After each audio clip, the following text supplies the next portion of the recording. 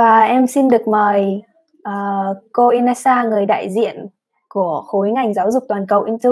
I would like to introduce Mrs. Inessa. She is a representative of Into in the US. Uh, please join in. Hello, Inessa. Hello, Hannah, and hi, everyone. Nice to join the session. Lovely to having you today. So, may I just ask you to introduce yourself, first of all? Thank you. Of course. Well, uh, my name is uh, Inessa. I represent Into University Partnerships. So I'm the recruitment manager um, for Into, and uh, I've been um, representing Into, in fact, for the past um, seven years. So I've been recruiting international students for the past seven years. And um, in fact, I was an international student myself. So I studied abroad, not in the US, I studied in the UK. But I still consider myself as having a, a good amount of experience to help international students who are looking to study abroad. So I'll be really, really happy to share my experience with you today. So do feel free to ask me any questions. Thank you. Uh, could you also please represent the uh, organization that you came from and how would you like to support students with your organization? Thank you. Of course, we'd definitely love to introduce Into um, to everyone. So I'm just going to briefly talk to you about who we are and what we do. So Into is a network of universities in the US and in the UK as well. We work in partnership with universities to help international students get access to education abroad.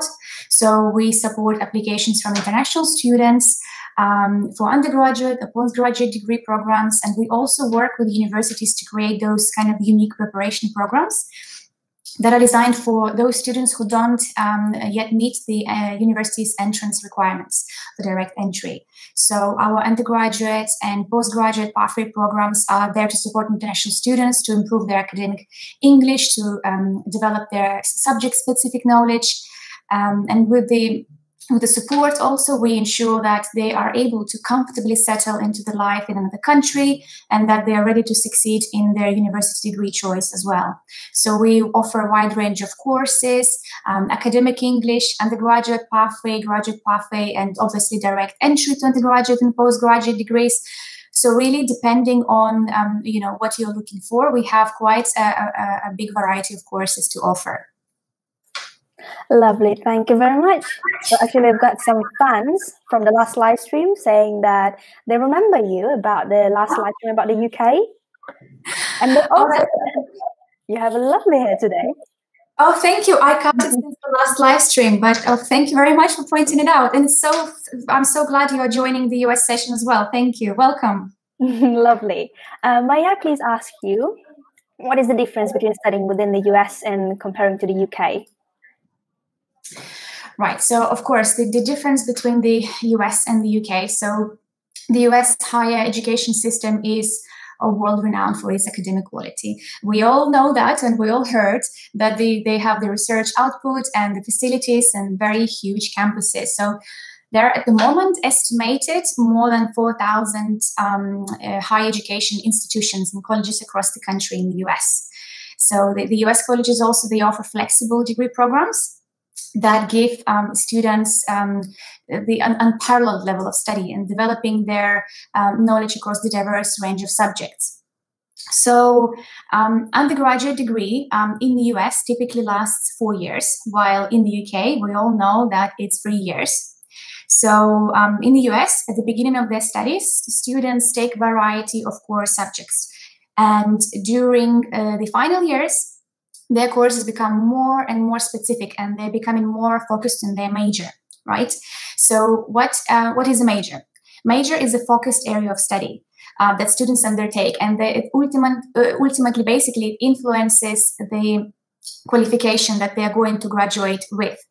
And this sort of flexibility also means that it's quite easy for students in the us to do um, a sort of a double major because a lot of students in the US graduate with a, let's say, a degree in business and music or a degree in theater arts and finance. So it's, it's a possibility for you to do that in the US.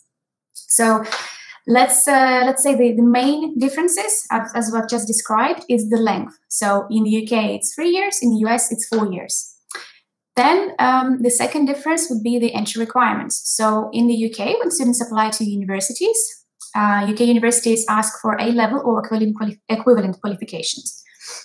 right? So, um, whilst in the US, in addition to the normal academic requirements, so let's say your high school graduation diploma and transcript, students also need to take SATs. So, SATs are the university's entrance exams that are required to apply to um, a direct entry to university in the US. And those SATs are um, required for all the American students, but that requirement also extends to all international students as well. So no matter where you apply from for direct entry, you would normally need to take SATs as well. So um, then uh, we also uh, the, the difference would be the academic curriculum. So the UK offers very, very focused um, and specialized education. So let's say um, in the UK, if you start studying finance, so from year one, you will study finance and you will graduate with a degree in finance. While US, it offers a more sort of flexible and holistic education system. And then let's say, um, let's talk about the final thing. It's the assessment. So UK mainly puts um, emphasis on the final exams. Uh, while in the US, um, it, they offer a more sort of consistent evaluation, and um, and then finally the grading. Of course, UK offers the uh, class honors uh, system, while the US offers um, cumulative GPA. Lovely. Thank you. Uh, we're getting first questions from our students, from our audience. Um, one of our Thai students, I think. What is the short and long term plan Into has in place following the circumstances of COVID 19 in the US? Of course, that is a, a great uh, question. So, obviously, COVID 19 created such an uncertainty for all the students, and especially those who um, are traveling from outside the US uh, to join the programs um, with us, which are most of our students, because most of our students are based uh, outside the US. So we've um, transitioned. Uh, all of our partner universities in the US transitioned into virtual learning as soon as um, COVID 19 um, happened, unfortunately. So all the students were taught by the same teachers and they carried on studying online as they would have studied face to face and they all were able to progress um, as they would have progressed if they were in the center as well. So in the summer, we had um, uh, courses that were offered online. For example, we had English uh, online uh, language courses, and um, in the um, in the fall, then we had students who were joining for uh, hybrid options. So they were able to join online, or if they were able to travel to the US, they were able to start face to face as well. So obviously, whatever happens, our priority is our students' safety and their success during these uncertain times. And um, that's why we offer these flexible um, options, and they can st- choose to study on campus or face to face. So no matter what uh, options they go for us, we will obviously, you know, they can count on us. Uh, we, we, just want to make sure that we have all the international students' um, needs um, in, in front of us. Right, lovely. Um, also, additionally, what has it been in your experience uh, working with uh, international students? What's your best memory or what you enjoy about international students? Hmm, very good question. You know what I would say? Um, it's joy of having someone, um, of having you know to, to help someone um, achieve their dreams. Um, right when I just uh, joined um, into and I joined the international uh, sort of recruitment, um, it was especially in my first year. I was so happy to help students uh, you know when you see their journey um, you know you, i would help them to apply for a pathway course let's say one of our international year one courses and then um, they would get so excited they would get an offer and uh, you know, i was the one to help i was so proud and now, now I can see that a student, let's say four or five or six years ago, who joined International Year One, they progressed to their degree. Then they completed their entire degree and they've already graduated and they started employment. And I'm so happy that I was part of that journey. And um, as I said, I feel extremely proud to, to help students like that. Lovely. Um, we've got another question from one of our uh, students. Which course in demand in the USA? What do you think? Right. Uh, very good question. I can't single out um, a particular course just because students that come to study in the US, they their interest is so broad. We have students um, applying for engineering. We have students applying for computer science and IT. So um, it's it's really hard to talk about one particular one. Um, from uh, my own experience, with the students that I work with, um, we have a lot of students applying for um, international year one uh, courses, which is a, a, pathway course that leads to um, an, an undergraduate degree. Um, particularly, the, the, reason for that is because for our undergraduate pathway courses, we don't ask students to provide SATs, so they can um, apply for let's say an international one course without SATs. Uh, while if you apply for direct entry, you will be most likely asked to take um, SATs. So that's uh, kind of one of the you know benefits uh, of the courses that we offer, and I do see a lot of applications um, from students for that. Right. Um, just sliding into the next question, what careers have recent graduates gone on to? Wow. Like in demand, what do you think? What what careers? Right. We had um, accountants, we had uh, graduates working in finance, we had graduates working in IT. Um, I mean, we so far um, in, in 10 years of Into, we had over um, 16,000 students um, uh, graduating. So it's 16,000 students studied with us um, and progressed and um, you know applied for further employment so i think we had all sorts of um, you know careers for where students progress to um, as I said, from the arts to engineering, uh, we had students going into nursing.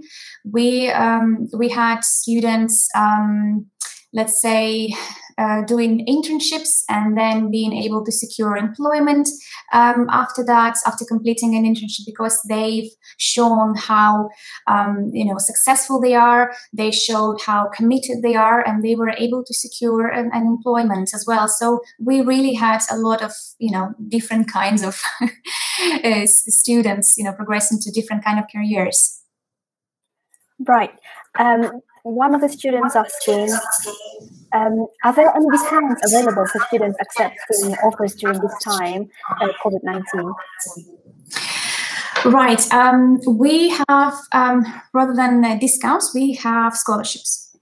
And um, in fact, we have each of our university partnership, uh, uh if of our university partners in the US, they um, they offer their own um, scholarships. So um, we have, let's say, scholarships for direct entry um, for, let's say, universities like uh, George Mason.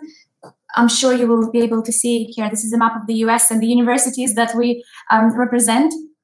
So let's say George Mason um, application for scholarships um, deadline would be 15th of December. Or we also have the regional scholarships available for students who apply for pathway courses. So I would say that if you have really good grades and you know you are ambitious and you you know you, you do want to do well with us as well feel free to apply for a scholarship with us. And uh, we consider all applicants and of course students with uh, you know higher um, academic performance will be you know more likely to be considered for a scholarship but definitely do um, you know uh, submit an application for a scholarship with us.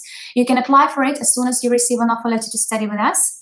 Uh, once you have that you are most welcome to apply for a scholarship of course Lovely, thank you. Right, and next question for you. Um, what is the maximum length of time for an internship and work placements in the US after students had graduated? And what's the difference between ITP and OTP in the US?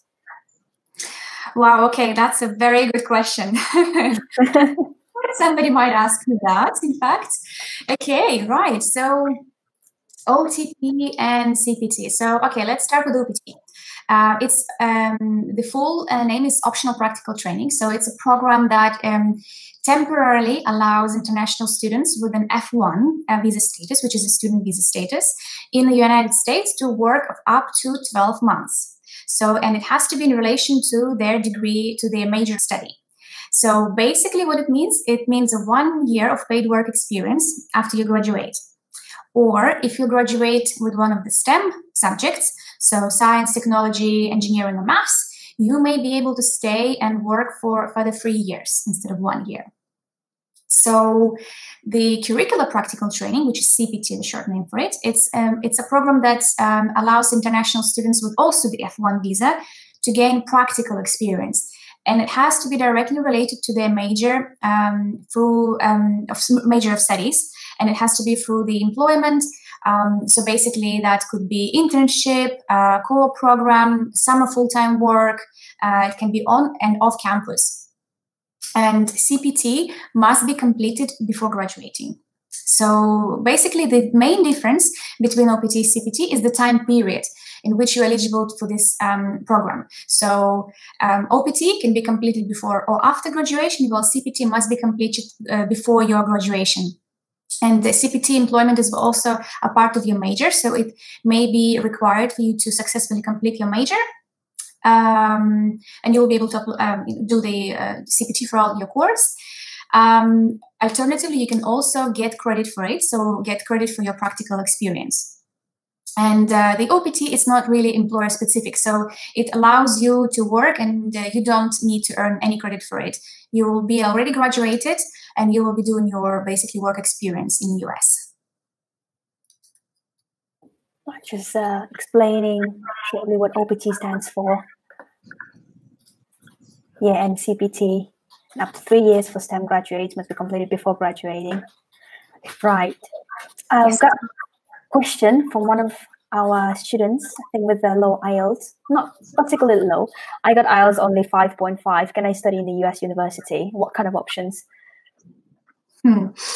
Okay there are several options for you with the 5.5 in IELTS. So generally for direct entry uh, courses to the US, you would probably need to achieve an IELTS of um, between 6 to 6.5. That's for, uh, I assume this is for undergraduate course. Um, if you don't have that, um, there are different options for you. So normally what um, we do when we assess your application for, let's say, um, an undergraduate course in computer science, and we see that you have uh, met the academic criteria, but you are lacking a little bit in your English. So what we normally do, we offer you um, a, a, short English language course that uh, will start prior to your degree. So we will, depending on how, what is the gap between the um, what you have in your score and what you need to achieve, we will be able to offer you between, let's say, three, six, or nine months of English, and then you will be able to start your degree. Alternatively, we also, I've mentioned briefly earlier, we have um, international year one programs, which are pathway programs. So we, um, it's specifically designed for international students, um, and we help them with their language skills as well as academically. And throughout that course, you start earning uh, credits as well towards your degree. So we are able to accept students with slightly lower um, IELTS. So let's say with the IELTS of 6.0, we might offer you an accelerated pathway course, um, which would last about, let's say, six months. Or if you need slightly more, uh, then we will offer you a, a normal standard, um, a two semester pathway course that would take um, one academic year so there are uh, there are a lot of um, options for you to still go and study in the US, even if your IELTS is slightly um, lower than is required for the degree. Thank you. Hope um, Sin has gotten her answer for the question and she could be more um, confident about her 5.5 IELTS and she hopes she'll find a best option for her. Right. Um, next question for you from Ling Ling. Um, it's um, uh, regarding the employment. So, how do U.S. universities help students secure employment, and do they offer the student a trainee in any U.S. company? Right. Wow. Very good question. Um, right.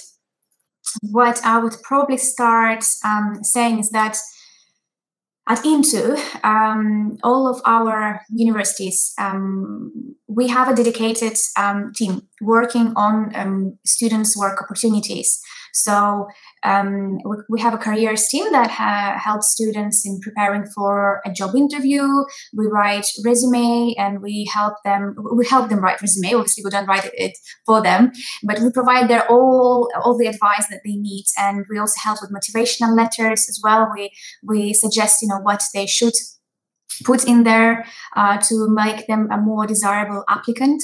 So usually universities, they also organize career fairs. So students can have the opportunity to meet the employers and discuss their careers and internships and OPT opportunities as well. So uh, at, at Into, our university partners, they have very good networking um, with local companies. So let's say Oregon State University in Corvallis, they, it's uh, one of my favorite examples they have a very good uh, network, uh, networking with HP. So just because the headquarters uh, is in the same city, right? So um, it's uh, uh, it's in the same city in Corvallis is the main university campus of Oregon State. So 100% of our IT students are being uh, offered an internship there, right? And let's say St. Louis University um, their um, aerospace engineering programs, they have the opportunity, students have the opportunity to secure a, an internship or work experience at Boeing, which is you know if you are uh, looking to have a career in you know soft in, in aerospace engineering that getting an internship at boeing would be absolutely fantastic. Um, let's say colorado state university they have a very wide range of uh, engineering and it companies um, Hofstra University in um, Long Island, they they focus on very hands-on learning experience for students, and they have connections um, with loads of companies in New York City. Um, so yes, we do try our best to help uh, students to secure, you know, internships, um, um, OPT opportunities, and then obviously further employment after they graduate. Lovely. The question. Thank you very much. um, I think she's probably planning to go to US uh, very time soon, um, and I think she's going to be studying business. So, just the following question. I think if you can just um, reply briefly, what can she do with the requirements? And you know, so she's saying, I just graduated high school in Vietnam, and what are the requirements that I can have a chance to apply for business bachelor in the US? Right. Okay. So generally, if you apply for direct entry to study business in the US, so you would need um, to have your Vietnamese high school diploma and transcript, and it needs to be um, an official translation. So you would need to provide uh, an original language um, copy and the translation into English, which is stamped by um, an official translator. And normally, universities will want to see your um, performance for the last three years. So, as I mentioned, universities in the US they don't just look at the final grade; they want to see how you performed in the last couple of years to see whether you were consistently um, getting those um, grades. So, first, as I said, um, academic qualification your Vietnamese high school diploma, then you would need um, your IELTS um, certificate or TOEFL or any other um, English language test to show your um, proficiency in English language. Then uh, you would need to, to, provide a reference. So it uh, should be from somebody who knows you really well and knows your academic performance. So that's usually um, a, a teacher or a program manager from your high school. Then, uh, obviously, a personal statement where you talk about um, why you would like to study in this particular university and why you would like to do this particular degree. And my advice is to do a really good research before you submit the personal statement, just because when universities consider you, they would like to see uh, first of all how much you know about the university itself and you know what what is it what sort of values do you support that university has and why would you like to be a part of that particular university for so many years so do the best research um, you can and learn uh, a lot about the degree look at the professors that are teaching this program as well maybe there is something impressive that um, you notice about one of the professors and do put that in your personal statement as well and then finally obviously uh, one of the most important requirements are the SATs. So you will need to take um, your SAT exams. You will be able to take that uh, if you're based in Vietnam, I'm sure you will have a place where you can take your SATs there as well. So um, these are the general uh, sort of entry requirements to for direct entry at undergraduate business. Lovely. Thank you very much. I think after that, her dream might come true. She's going to go to yes. Even though we mentioned before about the COVID 19 circumstances, I think that's still the perfect time to go to US and, you know, chasing your dream of studying abroad, with the, especially when US is just like a multinational, multicultural hub with um, full of international students. So you can get everyone, you know, kind of inside of uh, all the little corners in the world. Right. Just to sum up today's live stream, um, I would like to ask the last question. What are the unique advantages that Into students have in terms of getting a part-time job or an internship? So overall, just to sum up everything that we've been talking about today. Of course. So as I said, um, uh, I think I've, i was answering somebody's questions about um, you know the work opportunities and internships. So we at, at Into, we do have um, a specific, a dedicated team, um, a, a, careers team on the campus that um, help students in securing those uh, internships, uh, securing the uh, OPT, finding the suitable co-op programs as well. So uh, all the students uh, that are based on the campus, or even if they're joining it remotely, they would still have uh, their one-to-one meetings with their personal tutors once a week um, even if it's online. So they will be able to discuss, um, you know, and talk about their future aspirations and just you know go through what their future plans are what sort of careers they see themselves in and uh, you know as i said the dedicated team is there to support the students in helping them find what you know what will basically lead them to become um, a, a, successful IT consultant or um, you know a, a finance manager or accountant so we are there to help students. That's our most and foremost priority. Yeah, that's amazing. Um, could you also name any companies, any um, popular or leading companies that your students have, have been accepted to? Anything like Google or um, anything really, you know, broad and massive that our students get into? Right. So um, our students, um, hmm, yes, they were able to secure employment in some of the world's um, leading organizations. We did have students um, uh, joining Google. We had students joining Facebook. Uh, we had students uh, joining HP, uh, as I mentioned before as well. So you know they were able to progress to the top and you know leading and secure employment there.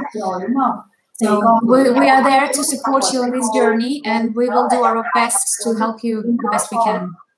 Yeah, thank you very much. Um, anything which you would like to say for the future um, people, future students who would like to go abroad, like if they're hesitating or, you know, um, anything just like a good luck with of course absolutely. Um, from my side i would like to say you know don't hold um, off your dreams um, for any reason. If your dream is to study in the us then just go for it. And you know there will be people along the way who will be helping you succeed because it's our mission and it's our job. So do go ahead and, and carry on with your plans. And of course, I know the world is really uncertain at the moment. Things change every day. We see the, the COVID cases there and there. But, you know, that's why we have all those flexible hybrid options. You can join the course online, so there is no need to delay. And you will be able to join on, on the campus face to face slightly later but you know it means that you will study now and you will graduate in three or four years times without any delay and um, you know just um, get in touch uh, with us and we will you know help you in any way we can. That's lovely. Thank you very much Inessa for joining us today. We hope many of our students will get in touch with you straight away. And that was very informative. Um, happy to have you today. And um, then we have uh, will be happy to see you next time in our future live streams for our students. We'll see how demand goes. And lovely. Thank you for tuning in today. Well, um, I wish you a good day. Thank you very much. Bye, everyone. see you later. Thank you. Bye now. Okay. À, cảm ơn mọi người đã tham gia với buổi livestream ngày hôm nay. Mong rằng uh, thông tin mà cô Inessa đã đưa ra đã rất là uh, bổ ích và uh, dành cho những ai mà dành cho các bạn sinh viên mà có nhu cầu đi học ở bên ở Mỹ thì các bạn sẽ tìm được cho mình một giải pháp và một câu trả lời gì đó uh, bởi những cái thời điểm hiện tại.